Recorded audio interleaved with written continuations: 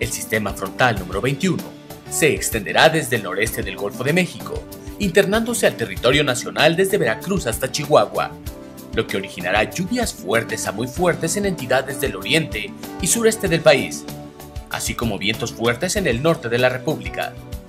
La masa de aire polar que lo impulsa favorecerá un marcado descenso de temperatura en el norte y noreste del territorio nacional, además de evento de norte en el litoral de Tamaulipas y Veracruz.